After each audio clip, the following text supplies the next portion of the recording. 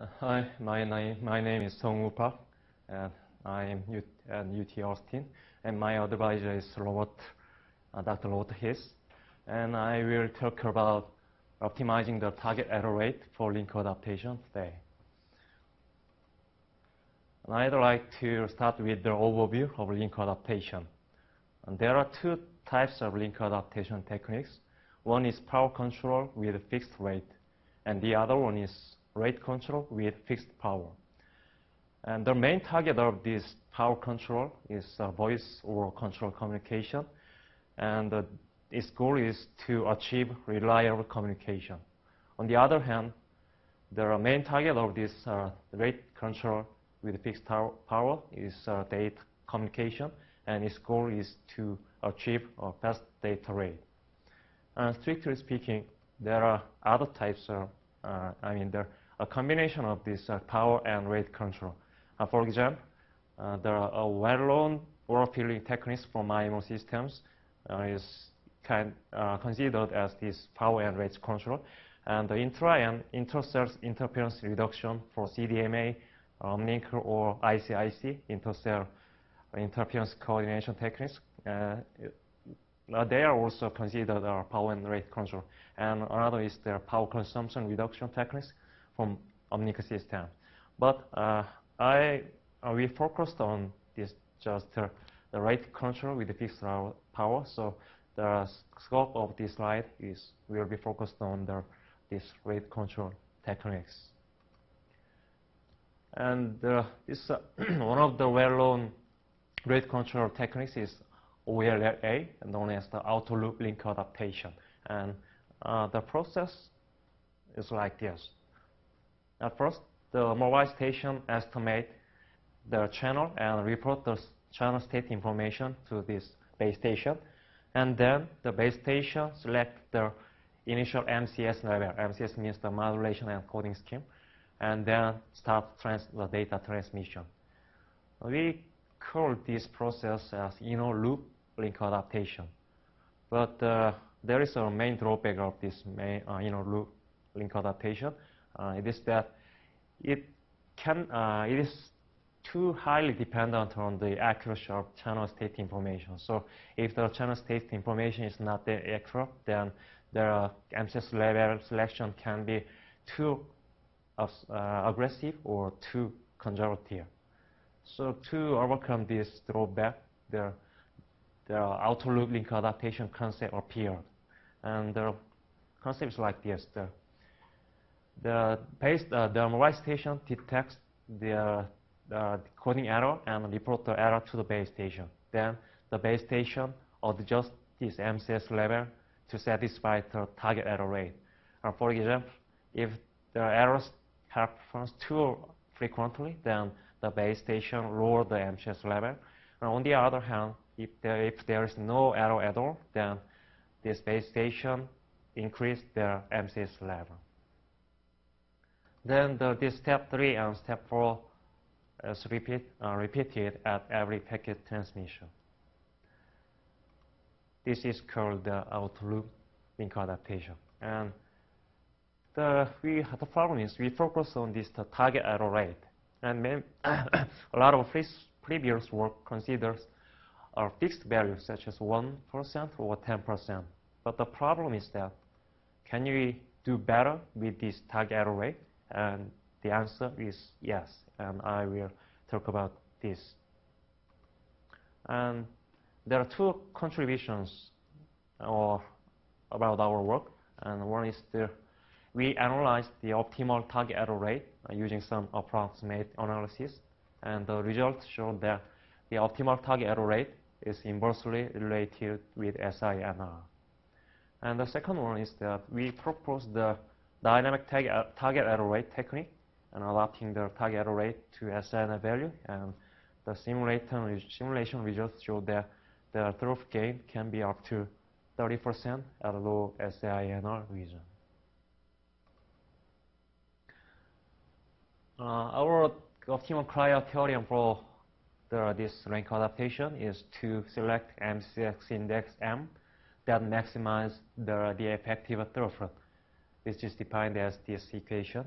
And the numerator represents the expected value of the size of the transport blocks decoded successfully during HARQ process. And the denominator represents the expected value of the number of transmissions that uh, it includes the on initial transmission and retransmissions. And this NRM is indicates the number of transmission when the receiver successfully decodes the packet, and uh, its probability uh, mass function is like this equation. And please remember that this xi means the SIR value at the i transmission in the HARQ block, and this fi function uh, indicates the block error rate of the ice transmission of MCS index M. And this small r of M means the transport block size. We can call it TBS uh, of the MCS index M. And the answer M max is the maximum number of transmission, including transmissions, retransmissions during my HARQ process, and this one function means the indicator function. Uh, our original criterion is like this, but there is a one problem. Is, uh, the problem is that this is not feasible in a practical system because the base stations should select the MCS level 1 at the initial transmission, and the base station cannot predict the future SINRs and error rates. So let us relax the criteria assuming that the future block rates are the same as the current block rate. Then the relaxed criterion can be represented by, with this uh, the first SINR and the first block rate. And interestingly, there, this can be represent this very simple form, and which is quite intuitive. And it means that if the MCS selection is too aggressive, then the this the transport block size is too big, so the initial block, block error rate can be very high. So in this case, the effective throughput can be low. And on the other hand, if MC selection is too conservative, then the transport block size is too small and the effective throughput also can, can also be low. So we need an optimization. The, the first thing, the first uh, thing our work is to model and approximate the, this MCS cells. Uh, the, the left figure is the transport block size, and the right figure is about the error rate. And we approximated, we assume that the relation between this transport block size and this MCS, MCS index n can be uh, modeled as uh, the linear relationship. It means that the slope is constant over the whole entire region. And second, we assume that the, this block error rate function can be modeled as um, the exponential function, which is usually used. And uh, this, the, the gap between the MCS indexes, uh, the, uh, these MCS indexes are evenly spaced within along this the SNR uh, in the DB domain, uh, which is also a good target feature of the MCS set design. Actually, this figure is the MCS syllabus in 3GPP LTE case. Uh, let's uh, let's look at the case one, the infinite MCS set case, uh, where we assume the MCS index M is a continuous real number. actually, this is not the practical case, and we will look at the practical case where the MCS index is a discrete integer number. But just to look at this uh, first uh, for the comparison.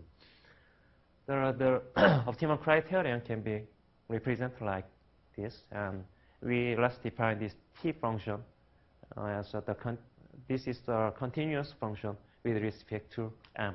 And this t function, the second partial derivative of this t function is always minus, and it means that this t function is a concave function with respect to this m. And so at the, at the optimal point, the, this partial derivative is, becomes zero.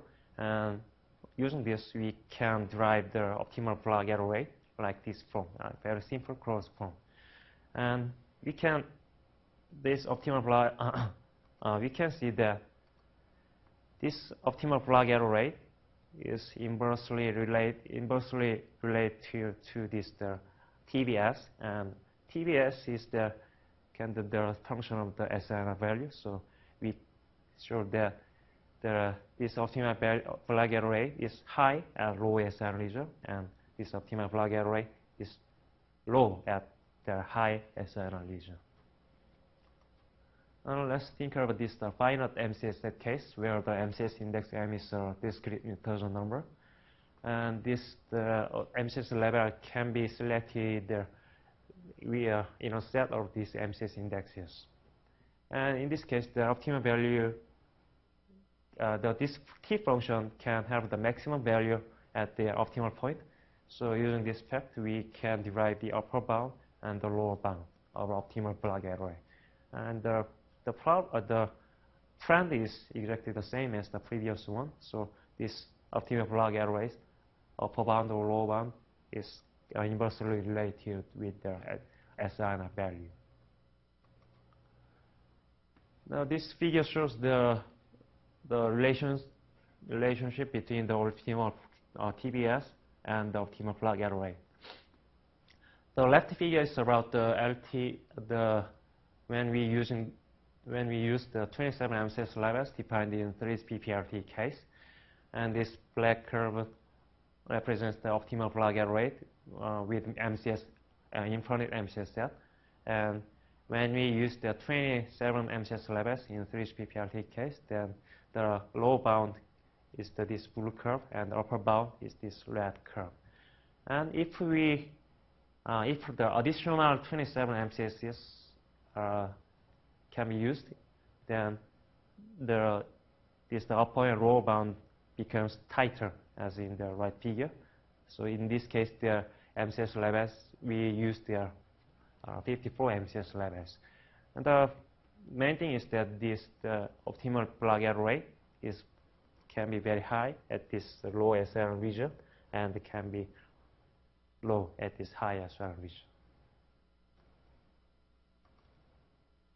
And using this uh, fact, we propose the dynamic target array in OLLA system. The, the main point is that the, we adopt the, uh, the target block error rate based on the average SINR instead of using the fixed value.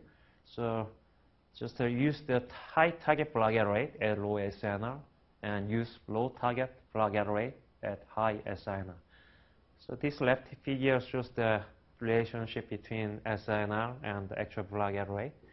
And this, the blue curve shows the our proposed one, and this red curve shows the OLLA with the fixed target error, uh, fixed target block error rate 10%. And you can see that it, at the extremely low SR region, even there this uh, fixed, uh, the OLLA with fixed target error rate cannot meet the fixed target error rate 10% because even the lowest MCS level cannot meet this 10% uh, target block error. So in this case, the block, actual block error uh, can be high. And the similar thing happens in the X at extremely high SNR region. And the right figure shows the through gain of this dynamic block error. And you can see that this the, at low SNR region, the through gain can be up to 30%. And you can see that this the optimal target error rate, the gap between optimal target block error, error rate and the fixed target error rate 10% is, uh, is big in this low SNR region. So the through gain can be very high in this low SNR region. But in the at high SNR region where the gap is uh, small, then the gain is marginal. Now I would like to conclude my talk. There, there we try the closed form expression of the optimal target block error rate. And uh, the optimal target block error rate is inversely related with the SINR. And we also propose the dynamic target block error rate technique using this the closed form expression. So in this case, the throughput gain can be up to 30% in low SNR region. Thank you.